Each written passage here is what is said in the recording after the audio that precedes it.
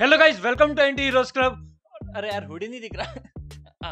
Hello guys welcome hello guys welcome to Anti Heroes Club और आज मैं आपको बताने वाला हूँ पाँच सुपर हीरो वेब सीरीज़ जो मार्वल डीसी से काफ़ी ज़्यादा अलग है। और अगर आप मार्वल का एक जैसा कंटेंट देख देख के बोर हो गए हो कि बहुत ज़्यादा मोनोटोनस हो गया है। अभी वैसे भी मार्वल ने फ़ेज़ फोर में काफ़ी अगा था और लोगों का मन उठ गया वेब सीरीज़ देखने से।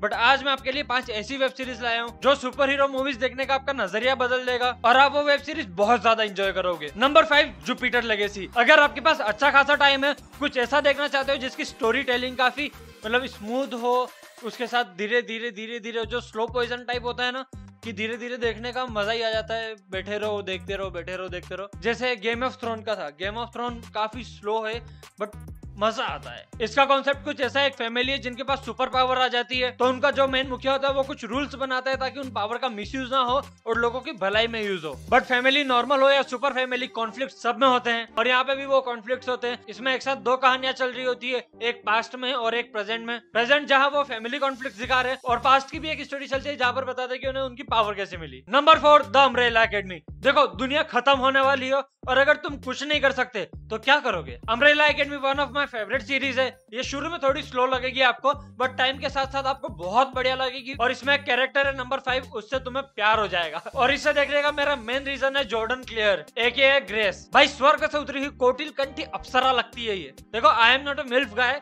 but exception चलते हैं यार।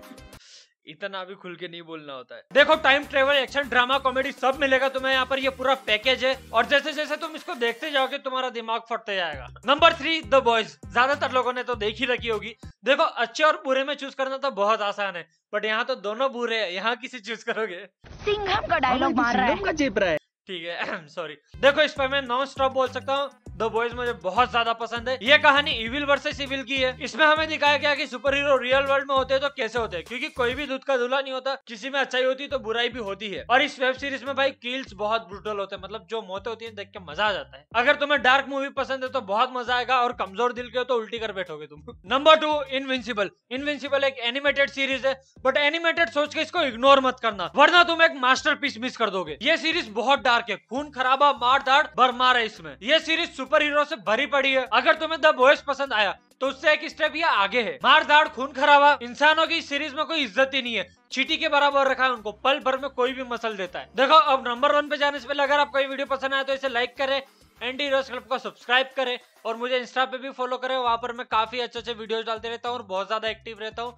तो वहाँ पर हम लोग बात भी कर सकते हैं, जो भी बात करना चाहो। मज़ा आएँगे वहाँ पर, आ जाओ तुम लोग। नंबर वन पे है Hit Monkey Hit Monkey Marvel का ही माल है और तुम देखोगे तो तुम्हें यकीन नहीं होगा कि ये मार्वल ने बनाया है। ये पहले डिज्नी प्लस पे आया था, फिर शायद हुलू पे भी डाला था इसको और फिर बाद में डिलीट करवा दिया मार्वल ने क्योंकि ये बहुत ज़्यादा डार्क है। बट तुम्हें पता है इसे कहाँ ढूंढना ये तुम्हें मिल जाएगी इसका एक सीज़न तुम इधर उधर से कहीं पे भी जुगाड़ करो, देखो, बहुत ज़्यादा मज़ा आएगा। अगर तुम एनिमेशन ज़्यादा नहीं देखते तो ये तुम्हें थोड़ा चौपी फील होगा बट भाई इसकी स्टोरी बहुत तगड़ी है। एक इंसान जब जानवर बन जाता है तो काफ़ी ज़्यादा खूंखार होता है, पर एक जानवर ही जानवर बन जाए तो कितना ज़्यादा खूंखार होगा वो। हिट मंग की कहानी एक बंदर के रिवेंज की, जहाँ पर मैं ज़्यादा नहीं बताऊँगा यार, वरना तुम्हारा वो सस्पेंस मिस हो जाएगा। भाई इसका बैकग्राउंड म्यूज़िक एक्शन इसका एडवेंचर भी काफ़ी अच्छा है, जहाँ पर वो काफ़ी मायावी शक्तियों से भी मिलता है। ओवरऑल तुम्हें बहुत ज़्यादा मज़ा आएगा।